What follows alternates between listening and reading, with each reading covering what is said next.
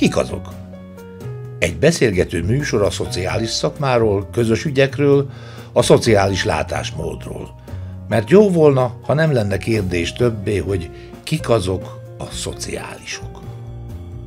Drága hallgatók, kedves kollégák, ezen a héten újra belevágunk egy nagy témába, amelyről már ejtettünk szót korábban is. A 2023-as év egyik, ha nem a legnagyobb változása a szociális ágazatban, a szakápolási otthonok megjelenése lesz. Ez az új szolgáltatás számos kérdést és vitáspontot vet fel. Ezeket próbálta összefogni és körbejárni az a szakmai fórum, amely kapcsán két műsort teszünk közzé. A Semmelweis Egyetem Szociális Vezetőképző Tudásközpontja és az egészségügy területén aktív Magyar Egészséggazdaságtani Társaság, a Meta Egyesület közös szervezésű fórumán a felkért vendégeink voltak dr. Sinkó Eszter egészségpolitikus, a Semmelweis Egyetem egészségügyi közszolgálati karának dékán helyettese, Bódi Éva, szociális szolgáltatásmenedzsment szakértő, aki ugyanezen kar szociális vezetőképzésének oktatója, valamint dr. Cibere Károly, a Károli Gáspár Református Egyetem, és dr. Dózsa Csaba, a Miskolci Egyetem docensei. A téma tehát a szakápolás jövőképe és a kérdés, hogy lesz-e időskorúaknak nyújtható, magas ápolási gondozási tartalmú szolgáltatás a jövőben is Magyarországon. Most a fórum vitaindító nyitó előadásait tesszük közé, a jövő héten a panelbeszélgetést és sok-sok feltett kérdést hallhatják a podcast csatornánkon. A hivatkozott tanulmányok, cikkek elérhetőségét a műsor leírásban találhatják. A hangfelvételt a Szemövesz Egyetem egészségügyi közszolgálati kara bocsájtotta rendelkezésünkre. Dr. Dózsa Csaba Köszönöm szépen, köszönöm a lehetőséget. Készültem. Aki látja, ott van 53 slide van, de ez csak, ez olyan, ez az ellenség megtévesztése. Az első 12-3 slide benne van a lényeg, a többi azért, ha kérdés merül fel, akkor legyen reflektálni. A, majd még menet közben bemutatkozom, mert nem mindenki ismeri. Itt van az elnökünk, a Magyar Egészségügyi Társaság elnöke Rózsa Péter úr. Pár évvel ezelőtt egy meta előadást szervezett, már az otthoni ellátás témában, otthoni szakápolás témában, viszont ezt a témakört a Meta az elmúlt 20 évében még nem tárgyalta. 20 éve kezdtük a munkát 2003. januárjában, ezt tudom, mert az összeset követtem. Csabor Bálát említeném még kolléganőmet, akivel a 2015-16-os kutatást együtt végeztük. És én készültem egy átfogó anyaggal, amiben tudunk majd szemezgetni. Alapvetően az első pontot szeretném itt a kihívásokat, lehetőségeket felvetni. Vitaindítóként, és Inko Eszterrel beszéltünk néhány fókuszpontról, azon a vonalon lehetne tovább menni. A többi maga a szükségtelemzés adatai, egyéb kérdés, szabályzási kérdések, amiket jó részt Bodévával vitattunk meg annó, azok háttéranyagként benne vannak ebbe. A, volt egy szakértő munkám Brüsszelben 2010 és 12 között, és ott tanultam meg ezt a kihívást, ezt a szót, az aging, az idősödés, az igazából egy kihívás, egy lehetőség, lehetőség számunkra, és mindjárt meglátjuk, hogy miért, és nem, nem problémáról van szó, tehát ne problémának kezeljük, és erre ugye egy joint programot indított az Európai Bizottság 2008-12-13 között, ez az Ambient Assisted Living Joint Program, amiben több mint száz projekt szerepelt, főleg az időseknek és fogyatékosoknak a különböző infokommunikációs ellátásról, fejlesztésről volt szó, ezekből is szeretnék szemezgetni. Ugye a kihívás az az, hogy mi lesz velünk, egy rövid távon, mint hogy magam számára őszül a halántéka, hogy ki fog minket gondozni, pelenkázni, etetni, stb. Ugye ez egy nagyon nagy kihívás. Már most is ugye elég kevés a humán erőforrás, de hogy látjuk itt a magyar demográfiai helyzetet, ez a 89 ezer, 90 ezer születésszám, ez elég, elég csekéke háttér, főleg ha azt az attitűdöt nézzük, hogy ilyen kevesen akarnak menni ápolónak, vagy szociális gondozónak. És ugye ezt is majd valahogy meg kell oldani. És van egy olyan két demográfiai csúcs, az 50-es évek eleje, most már ők egyrésztük nyugdíjas, és a 70-es éveknek a korosztály, akik majd talán egy olyan 20-25 év múlva kerülnek oda a nyugdíjkorba, és akkor, ha a magyar demográfiai helyzet nem tud változni, akkor óriás, még nagyobb kihívás elé állunk, mert már ezek a korosztályok, ezek gyakorlatilag sokkal népesebbek, a most a Ratkok országban születettek is sokkal népesebbek, mint a most születő generációk. Tehát csak ha Magyarországot tekintjük, és nem is az egész európai idősödés helyzetet, már emiatt is óriási a kihívás, és sokkal népesebb lesz az idős korosztály. Csak az elmúlt 10-12 évet nézzük, a gyerekekre jutó idősek száma, akkor azt kell mondani, hogy gyerekeink egyre felelősebbek lesznek, mert mire oda jutunk, mondjuk akár én egy olyan 20 év múlva, vagy valakinek gondoznia kelljen, akkor már egy gyerekre két idős jut, idős. Ha esetleg rászorultak, akkor gondoskodni kell akár családon belül, vagy társadalom szintjén. Milyen programok vannak, ezt az Ambient Assisted Livingből tanultam. Az hogy a tíz év eltelt, hogy ez a program ez dübörgött, és a Joint program az azt jelenti egyébként, hogy a 27 európai ország, ugye ez többször változó számban volt, de nagyjából 27 volt már akkor is most megint, hogy a Joint programban 24 európai ország volt benne, és Magyarország elég aktív volt ebben. Otthoni ellátók részéről, szociális hatónak részéről, műszaki egyetem részéről. Azóta a világ kicsit elment, mert a, a legutolsó okostelefon és mobil applikációkkal sokszor többet tud, mint az akkori kiemelt projekteknek a cuccai. Mindenesetre az angol száz világból elterjedt egy fogalom Magyarországon is szerintem már ismert, ez a silver economy, én is idéztem, ami azt értik, hogy az idősödés egyébként főleg, ahol van kiforrott, áttekintő vagy átfogó nyugdíjrendszer és magas nyugdíjakkal, ott ez egy óriási keresletet jelent. Kereslet szociális egészségszolgáltatások iránt, szépészeti ipar, kozmetika, minden iránt. Tehát a gazdaság egy nagyon jelentős részét gyakorlatilag dinamizálják ezek az idős emberek által gerjesztett igények, szolgáltatások, szükségletek. Úgyhogy erre mondja azt a nyugati világ, hogy ez egy, ez egy lehető, ez egy opportunity, ez egy gazdasági lehetőség, és megnézzük azt egyébként, hogy mondjuk Spanyolország, Olaszország, ugye leköltöznek százezrével északi országokból a nyugdíjasok, vagy USA-n belül ugye Északról, meg Kanadából leköltöznek, Floridába, stb. gazdag nyugdíjasok, hogy milyen keresetet támasztanak, az gyakorlatilag egy, egy dübörgő gazdaságot hoz létre azokban a szegmensekben. Tehát ilyen szempontból ez az egész idős ellátásnak a széles értelme vett területe, az egy gazdasági motor is lehet. Még akkor is, hogy mi ugye ezt most ráfordítás oldalról, meg szűkösség oldalról nézzük. Hát, hogy milyen előzmények vannak, hogy kerülök én ide a történetbe. Megtaláltam tegnap este a szakdolgozatomat, amit körbeadok. 93-ban, pont 10 évvel ezelőtt kezdtem ezen dolgozni, és 94-ben született, mert közgáz egyetemre jártam, de társadalompolitikai szervező szakirányon, és Krémer Balázs pedig tartott nekünk egy kurzust a Széchenyi István szakkollégiumban, és az indított el ebbe a témába, hogy erről írjak szakdolgozatot. A szakdolgozat címe az időskori szociális gondozó intézmények, voltak 94-ben védtem meg ötösre egyébként a közgázon. Ez volt az első diplomám, tehát ez egy 30 évvel ezelőtt kezdődött történet, amikor én bekerültem ebbe a egészségügyi szociális témakörbe. A másik kurzusunk az orosz év által tartott egészségügyi rendszerekről szólt. Szóval nekem az elmúlt 30 éven ez végig kísérte. És utána jöttek a későbbi impulzusok, ugye Falus Ferencről az integrált szociális egészségügyi rendszernek a modellje, aztán OEB-ben munkacsoportot hoztunk létre ápolásbiztosítás kutatására, fejlesztésére. Ebből nagyon sok publikáció született, ebből az időszakból, 2000-es évek elért meghatározta az, az elmélkedés, hogy hogy lehetne egy komplex ápolás biztosítás fölépíteni Magyarországon. A német példa alapján ugye 1994-ben indult. Próbáltam elég sok szerzőt felsorolni, nem a teljesség igényével. Boncimre, Sebestyen Andor, Csili Gabriel, Egervári Ágnes, Kárpát Zsura, nagyon sokan publikáltak. Mihály Péter is egy ellencikket jelentetett meg, hogy miért nem jó az egész, de ugye ezt is tudjuk az ő hozzáállását. Bondár Éva-nak volt egy átfogó cikke, 2010-11-es időszakban, ő akkor keretbe foglalta az egészet, az egészséggazdasági szemlébe jelent meg ez a publikáció, neten elérhető, de bárkinek el tudom küldeni.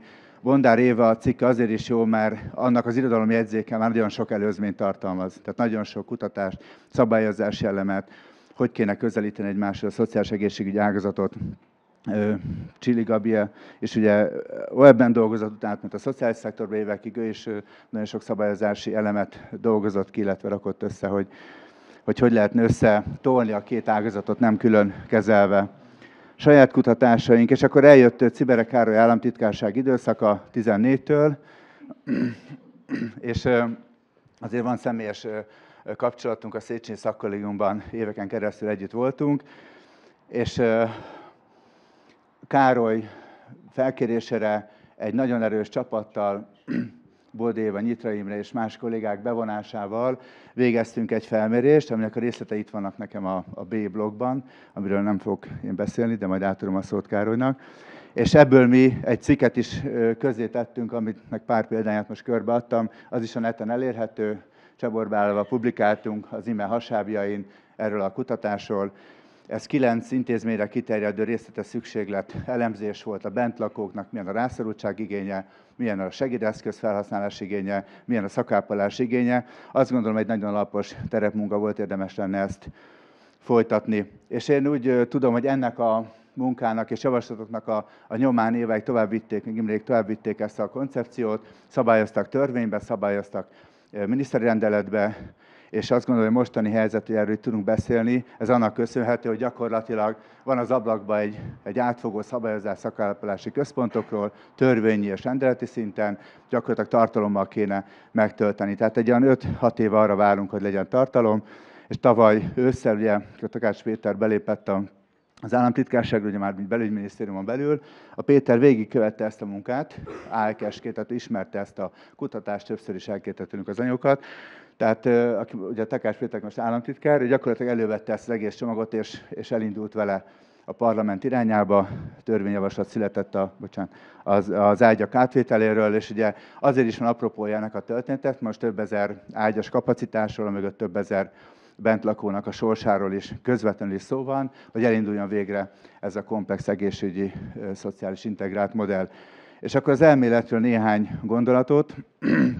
Természetesen ezekben a publikációkban, amit 2000-es évek elején indítottunk el, ott megnéztük a japán, a német, az osztrák rendszernek a működését, a rászorultsági szinteket, a, az, tehát az indikálhatóságnak a fokát, a, a támogatási jellegét, pénzbeli, természetbeni, amennyit csak lehetett ugye akkor elérni angol nyelvű kivonatokból, azokat feltártuk, milyen pénzbeli jutatások, milyen otthoni ellátási formák, nappali ellátások vannak. Tehát gyakorlatilag az volt a tapasztalat, hogy sehol nem egy síkú ellátási formáról van szó, hanem valamilyen integrált megkezelítésről, teljes vertikumról van szó, de vannak benne hozzáférési limitek, egy nagyon szigorú, független rászorultsági elemzésre lehet bekülni ezekbe a rendszerekbe, és nem a végtelenségig tartanak ezek, hanem amíg a, az a rászorultság tart. Szektorsemleges finanszírozás van, tehát eh, állami, önkormányzati, eh, civil, egyházi, non-profit, akár for-profit formák is be tudnak lépni egy ilyen rendszerbe, és egy színeskörű forrásképzés van. Tehát rengeteg ilyen tapasztalat összegyűlt. Nekem ez egyébként már több mint tíz éve tananyagként szerepel az oktatásaimban Debrecenben és Miskolc Egyetemen. Ezt én kreáltam, ezt az ábrát. Valami olyasmiről szól, hogy ahol alacsony a progresszivitási szint és a rászorultságnak a napi igénye, ott nagyon sokan vannak, tehát mondjuk Magyarország tekintetében ezek százezrek, és hogy megyünk föl a csúcsellátás, speciált ellátás irányába, akkor ugye az néhány, néhány tízezerre fogy ez a létszám, és természetesen az alapelveknek megfelelően, amit mindjárt felvázolok, nem szabad az embereket fölfele tolni a rendszerbe, hogy feleslegesen olyanokat befektessünk, akár kórházba tartsunk, akár akár szakellátó intézménybe, időskori bentlakásos intézménybe, akinek nincs rá szüksége, tehát próbáljuk megoldani lakosság közelében, közösségi formában az ellátás. Ugye ezek a tapasztalatok leginkább a Hollandiában, Svédországban, Katalóniában, stb. Tehát e, ezt a kettőt kell összehangolni, és az a lényege, hogy ez egy vertikum, és nem jó, hogyha egy-egy elemet kiragadunk belőle. Ugye ezekben a szakértői munkákban, vagy elemzésekben összeírtuk a a hívószavakat is, hogy milyen alapjai lehetnek, a szubszidiaritást emelném ki, ami gyakorlatilag erről szól. Ha valamit meg tudunk oldani lakosság közelében, otthoni azt ne dugjuk be azokat a betegeket vagy egyéneket ne dugjuk be otthonba, intézménybe azért, ami a legdrágább ellátási forma, a multidisziplinaritás nélkül elképzelhetetlen. Ez az egész kérdéskör, erre nagyon jó modellek vannak Egyébként van egy ilyen szövetség Európában, Integrated Care, ennek a konferencián többször voltam, tehát fantasztikus jó, jó best vannak, azt gondolom, egész Európa szerte ezekben a ilyen területeken, ami ötvözi az egészség, szociális, akár munkaügyi, akár családjogi egyéb problémákat és egy komplex megoldást kíván adni. Szükségetelemzés, rászorultságon alapulnak ezek a rendszerek, tehát nem, nem alanyi jogon lehet bekerülni csak azért, mert valaki valóban született, vagy valamilyen kort elér, akkor már automatikusan egy ilyen rendszerre kell látni. Falus Feri ábrája, én legalábbis úgy tudom, hogy ezt ő kreált az ő anyagaiból van. Ez meg azt mutatja, pont ezt a fokozatosságot mutatja, hogy ahogy jövünk ki az egészségügyi ellátásból, mondjuk egy szomnyak törés után egy idős ember javul az állapota, meg kell oldani az otthoni ellátását, gondozását, család bevonását, stb. A végén lehet, hogy már csak egy szociális ellátás marad benne. De hogy ugye ezeket hogy szegmentáljuk, hogy mi az, ami még kórház, mi az, ami szakápolási központ, mi az, ami szociális otthon, stb. Azt hol húzzuk meg, azt gondolom, hogy ebben van egy óriási rugalmasság. És akkor a 2015-ös szakértői anyagnak az egyik ilyen alapábráját szeretném még felvetíteni, ez pedig arról szól, hogy, hogy nem lehet mereven külön választani, rendszer éváikkal ezen dolgoztunk, nagyon sokat.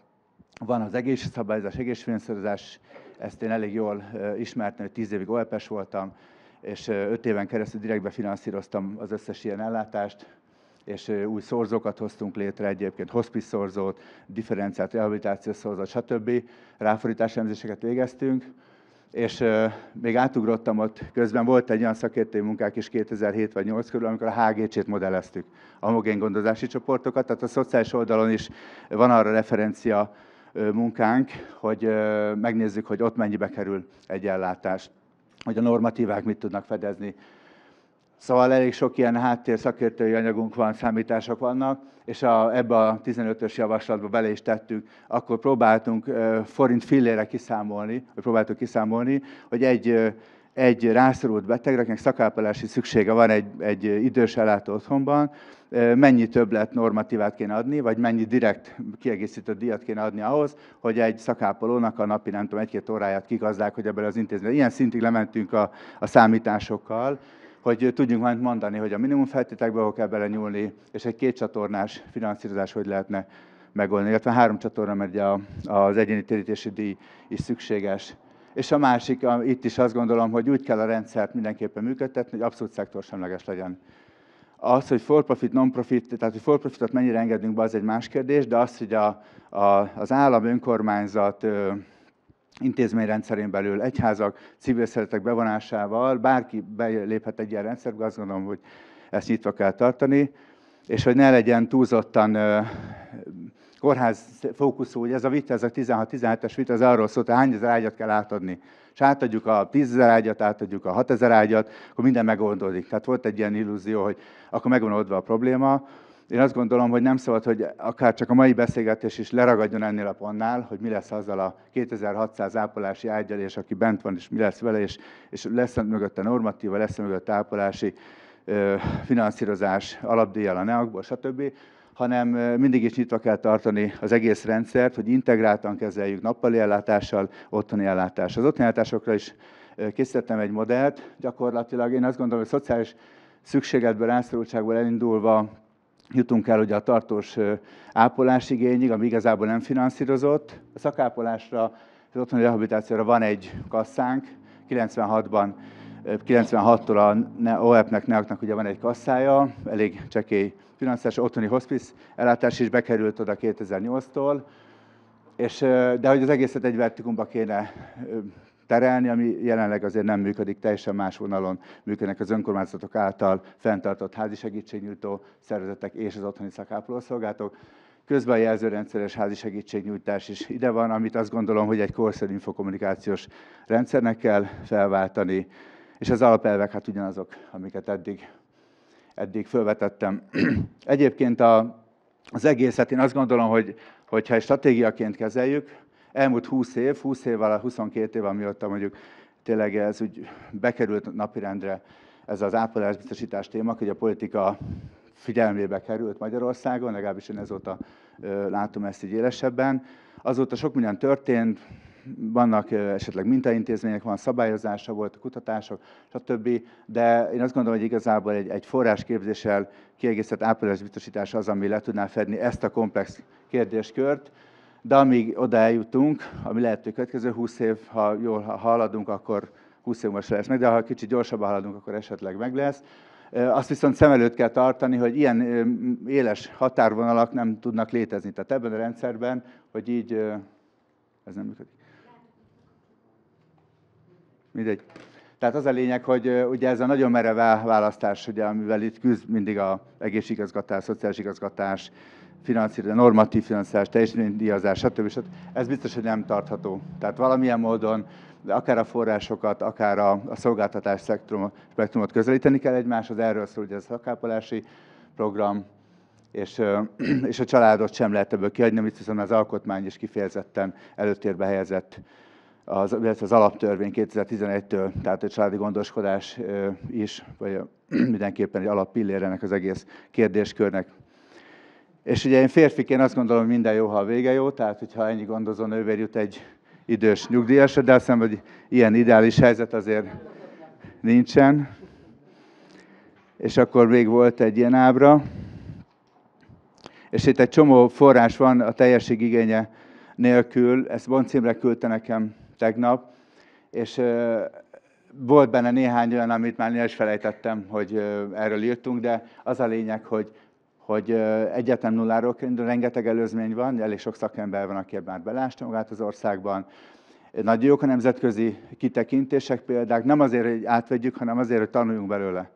Tehát akár szervezeti szinten, az integrált ellátási modellekre nagyon jó, meg community-based programokban nagyon jók vannak, nem is kell Európán kívülre menni, és ezen túl pedig az ápolásbiztosításnak a makroszintű megoldásra is vannak országpéldák, az osztrák, a holland, a német, a japán, abból is lehet tanulni, tehát egyáltalán nem, nem kell nekünk így a sötétben tapogatózni, hogy merre lehet indulni, és ezek az előzmények vannak.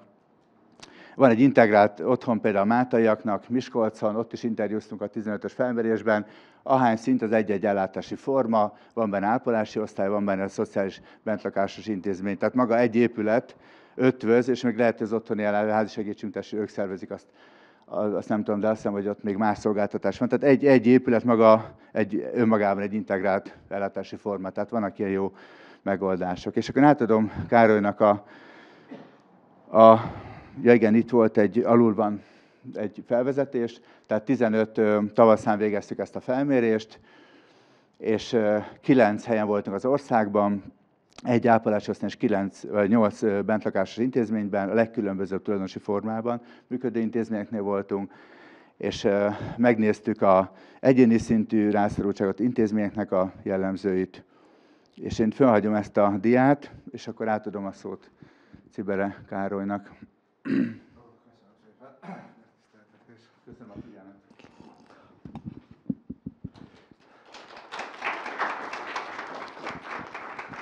Dr. Cibere Károly. Köszönöm szépen, én csak néhány kommentet fogok fűzni a, az előadáshoz, tehát nem külön előadást tartok, csak azt gondolom, hogy néhány helyen szeretnék lábjegyzetelni, de alapvetően az irányában én teljesen egyetértek az elhangzottaknak. hát meg régóta dolgozunk, egy, és hát kiderült, hogy a Széchenyi szakkollégium köt össze. Ezek a szakkollégiumok, ugye? Ez, ez borzasztó, hogy ide nyúlnak vissza bizonyos, ide lehet csak megmagyarázni bizonyos szakpolitikai történéseket. Az egyik fontos dolog, amit szeretnék mindenkinek, és, és a Csaba is mondott egy-két dolgot erről, hogy tehát az fontos, hogy ne keveredjen össze a közép és a hosszú táv. Tehát azt el kell dönteni, amikor hozzászólunk, majd el kell dönteni, hogy a közé vagy a hosszú távról beszélgetünk. Most mit értek ez alatt? A, a közétáv azt jelenti, hogy, a hosszú táv azt jelenti, hogy hogy lesz a jövőben, a közétáv azt jelenti, hogy addig hogy lesz. Tehát egész egyszerűen azt kell látni, hogy a hosszú táv az azt jelenti az ápolás biztosításban és az LTC szektorban, hogy a nemzetközi példák alapján mi szakemberek gondolunk valamit arról, hogy hogyan kellene működnie. Nagyon sokféle, hát integráltan nyilván, majd erről mondok két szót, de azt pontosan látni kell, hogy ez a mi életünkben nem fog megtörténni. Tehát, tehát amikor valaki szakmailag mondjuk tanácsot ad egy államtitkárnak, vagy egy miniszternek, vagy egy miniszterelnöknek, akkor pontosan tudni kell, hogy mi az a framework, az az intézményrendszer, amire, a, a, ami a kerete az egész cselekvésünknek. Tehát én, amikor megírtuk 2011-ben az Imre felkérésére például az NSZK-t, a szociálpolitikai koncepciót, akkor volt egy alkotmányosan rögzített intézményi kerete a szociális szolgáltatási rendszernek, és az NSZK azt tartta, ahhoz illeszkedett. Na most az elmúlt 12 évben azok a peremfeltételek, amelyekre az épült, az alapjaiban változott meg. Az, az, az új alkotmány, akkor a, az ST módosítás, és nagyon sok tekintetben. Tehát ha ma kéne NSZK-t írni, nem mondom azt, hogy százszerzékben, de, de abszolút más lenne. Tehát amikor beszélgetünk arról, hogy a, a szakmai célok felé hogyan kellene menni, akkor azt mindig figyelembe kell venni, hogy nem lehet a kormányzat által kijelölt alapvető kereteken felülemelkedni. Tehát lehet azt mondani, hogy hát akkor csináljunk meg a teljes integrációt oda-vissza, majd mindjárt mondok rá példát, de figyelembe kell venni az adottságokat, és majd erre is mondok néhány esetet. Tehát ha úgy megyünk oda a politikához, és a szakember az nálam mindig azt jelenti, ezt még előre bocsátom, tehát a szakember nálam akkor, nem akkor kezdődik, amikor leírja a paper a conception paper lecseszi az asztalra, hanem amikor oda van téve, hogy az az argumentáció, ami a politikának is emészthető. Kollégák, olyat én is tudok csinálni, hogy kimásolom az OECD, meg összefissza mindenféle anyagokból, hogy erre kéne menni. Senki soha semmivel nem megy az el előre. A szakma az attól szakma, a szakértő attól szakértő, hogy tudja, hogy a politikának hogy kell eladni, milyen érvel. Ez azért szoktam mondani, mert a szakmában nagyon sokat találkozok ezzel, az, én 25 év vagyok a szakmában, hát hogy akkor én megmondom, merre van elő, mi az irány, hát az a gonosz, uh, rasszista, szegény ellenes, nem tudom, milyen politika, az, ami a mi szenzációs szakmaiságunkat nem érti. De csökött, meg a gyalult, meg nem, nem, nem. Ezt tudomásul kell venni, hogy ami, és, és ezt, ezt, ezt, szoktam ezt a tanítványnak is mondani, a szociális szakma is azért tartott 30 év után, ahol, mert a társadalom részéről nem azok a jelzések érkeznek a politikába folyamatosan helyből, hogy annak adunk, annyit adunk, úgy adunk, aki a társadalom úgy gondolja, hogy annak kell adni, annyit, és úgy. A politikai társadalmi legitimitása a szakmának lett alásva 30 éven keresztül. Tehát a, a, a társadalmi presztízs alacsony voltának ez egy fontos oka. A politika nem kap pozitív visszajelzéseket a mi tevékenységünk és annak az eredményességéről. Zárója bezárva. Tehát egész egyszerűen nem lehet azt megtenni, hogy politikailag nem készülünk. Ha valaki megnéz mondjuk egy francia anyagot, amikor leteszik a minisztérium asztalára, vagy Hollandiába, akkor annak mindig van egy public policy analysis része, Na de van egy megvalósítható, hogy nevezik ezt, politikai megvalósíthatósági része is, nevezetesen, hogy hogy kell eladni a politikának. Segítek a politikusnak, hogy hogyan érveljen, amikor jó. Ez azért fontos dolog, mert most van egy, van egy szervezeti, intézményi struktúra, és ahhoz képest kell, tehát ami most történik, az, hogy ágyak átkerülnek az egészségügyi rendszerbe, a szociális rendszerbe, azt azért üdvözöljük, mert azon a szervezeti kereten, intézményi kereten belül, amire most rögzítve, az egy jó megoldás. De szakmailag nem. Tehát szakmailag az kívánatos megoldási rendszer az lenne, hogy ha, amit a Csaba mondott, az integráció lebomlana. De Magyarországon úgy épült fel az egészségügyi és a szociális igazgatás, hogy mereven elkülönül a szabályozástól kezdve végig, végig, végig. És ez egy olyan örökség, amit hát nagyon nehéz lesz feloldani. Ugye az elmúlt 30 évben összesen volt ugye két év, amikor ilyen volt, hogy a két helyettes államtitkár együtt szövegezett. Ilyen nem nagyon volt, ugye? Ezt Imre el tudja mesélni. Jó? Tehát bizonyos dolgokat adottságnak kell venni, és azon belül kell keresni a jó megoldásokat, ami a szakmai cél irányába hat. A másik megjegyzésem az aging. Az aging kapcsán valóban fontos az idősödés kérdése. A demográfiát azért kinyitnám.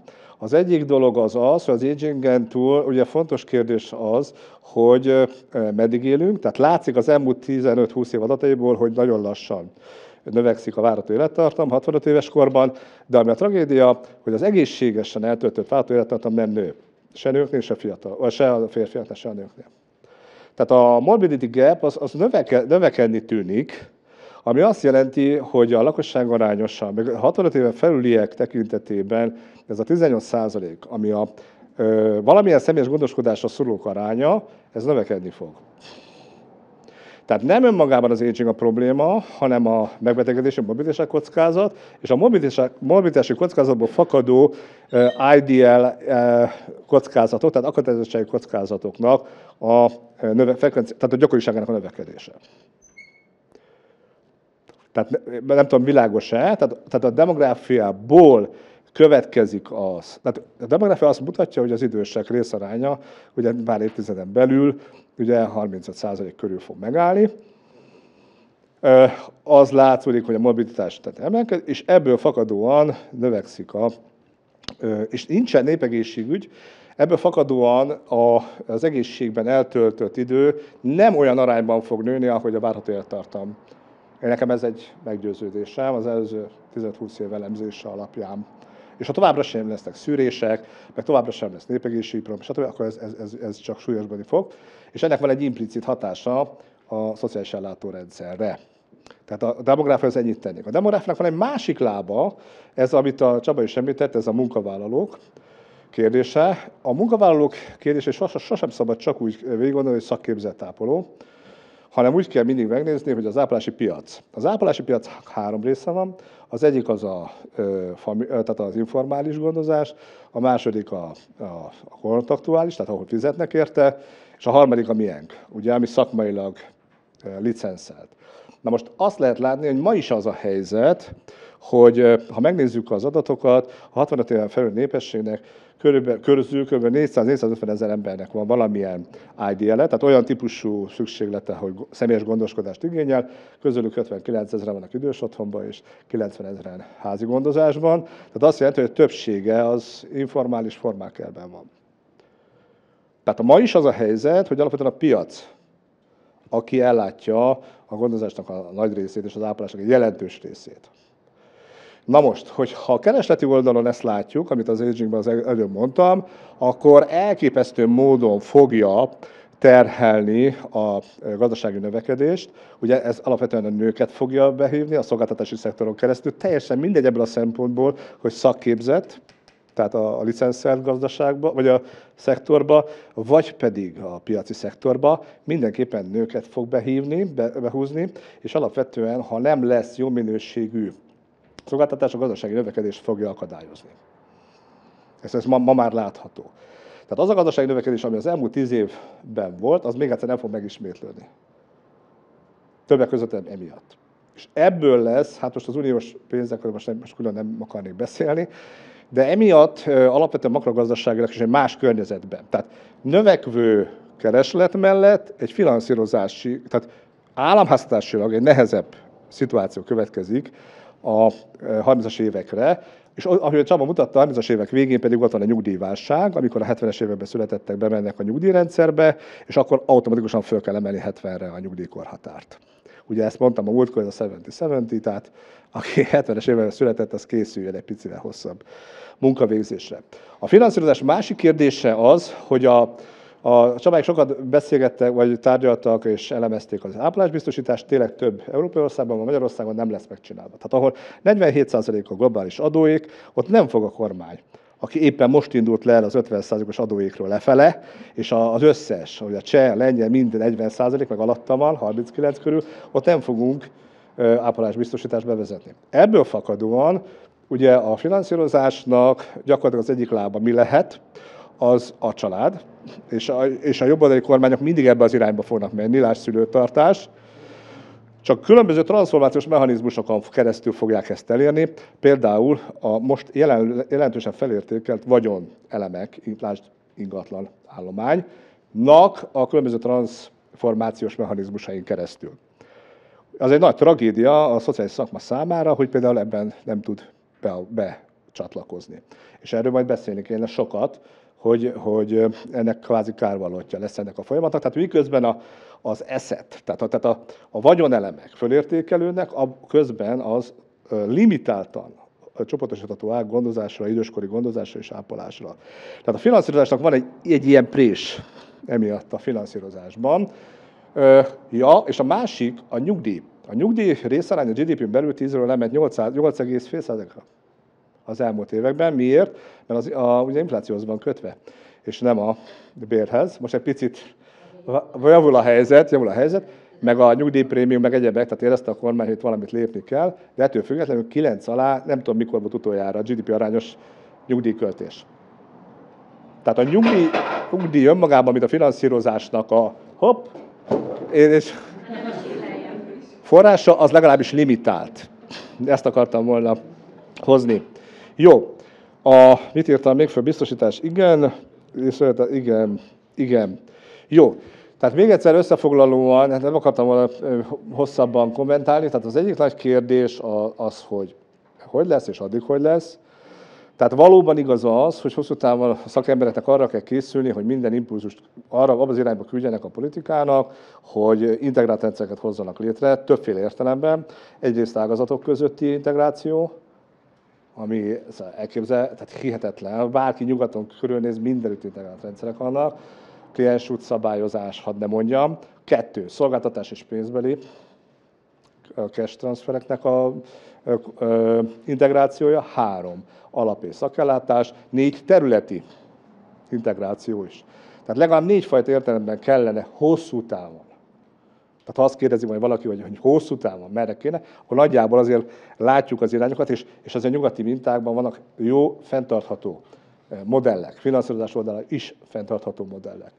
A kereseti oldalról beszéltünk, azt nem mondanám, a kínálati oldalról pedig a piaci ö, ö, szegmentáció kapcsán elmondtam a véleményem. Tehát döntő kérdés lesz az, hogy az a három szektor, tehát a licenszelt, államilag szabályozott, finanszírozott, a piaci, illetve a for, az informáker, a családi és a kalákában és egyébben végzett gondozás az hogyan fog egymáshoz viszonyulni. A svéd mondat nem fogjuk tudni finanszírozni, az egész biztos, tehát hogy döntően az első szektorban legyenek a mi időseink, tehát nagy, de az biztos, hogy az informákerből nagyon erősen kell behúzni ugye a, az időseket, mert nem lehet egész egyszerűen, erre mondtam a gazdasági növekedés leállását, hogyha az informákert a jelenlegi e, mértékben hagyjuk. A középső lesz az igazi kérdés, amikor pénzt fizet valaki. És itt az látszik, hogy a Kárpát-medencét kiporszívóztuk. Tehát ugye most már 50 ezer ember maradt Kárpátalján, 100 ezer eh, Vajdaságban, 1 millió eh, Erdélyben, és eh, a következő a gazdasági növekedés, a következő hulláma őket is kiszippantja. És a gondozáson keresztül fogja kiszippantani. Tehát ez, ez, ez a szektor fogja, nem pedig az építőipar, meg a nem tudom mi, fogja kiszippantani azt a maradék magyar nyelvű, vagy ajkú népességet is. Ez egy nagyon fájdalmas dolog, de, de fel fog erősödni. A háború és egyéb dolgok miatt is, is nagyon erősen úgy látszik, hogy nincs ellene, nincs ellentartás ez ellen. De ettől függetlenül is kérdés az, hogy más ajkúak. És itt jön a bevándorláspolitika. A bevándorláspolitikának az a kérdése, ami most is látszik, hogy persze nincs bevándorlás, de a nagyipari vállalatok mellett mindenütt ott van a mongol falu, a vietnámi falu, a nem tudom. Tehát jelenleg is van egy óriási nagy, hogy mondjam, irány az ilyen típusú törekvéseknek, hogy jelentős nem magyar ajkú népesség jöjjön be a, a gazdaságnak azokra a részeire, ahol kell a humán erő, és itt is perceken be fog következni valószínűleg ez. Vannak még tartalékok a rendszerben, tehát például a roma asszonyoknak a behúzása. Tehát a, a, a, a nő az esélyt ismerik, azok tudják, hogy például Borsodban nagyon jó tapasztalatok voltak ezzel kapcsolatban. A másik, amiről kevésbé beszélt a Csaba, az pedig a digitalizációs kérdés. Tehát az, hogy az otthon közeli ellátásban milyen ütemben fog a következő 15 évben bejönni a digitalizáció, és az mennyire fogja az otthon közeli ellátásnak a lehetőséget felerősíteni. Mert erre a problémára, a keresett kínálati problémára az, az, az egy nagyon erős választ tud adni. Hogy nevezetesen, hogyha a szakemberre már nagyon késői progresszivitási szinten találkozik az idős az egyfajta válasz lehet erre a fajta piaci, kínálat, piaci és kereseti nem, piaci kereset és kínálati nem illeszkedésre, amiről az előbb beszéltem. Jó, ezt a öt vagy hat kommentet szerettem volna. Köszönöm. Ja. Drága hallgatók, kedves kollégák, a jövő héten tehát a vitával és hozzászólásokkal folytatjuk a szakápolási otthonok jövőképéről szóló, most elkezdett műsorunkat. Várjuk vissza hallgatóinkat. Mert ne feledjük, az elismeréshez először ismertség szükséges, a megbecsültség pedig az önbecsüléssel kezdődik.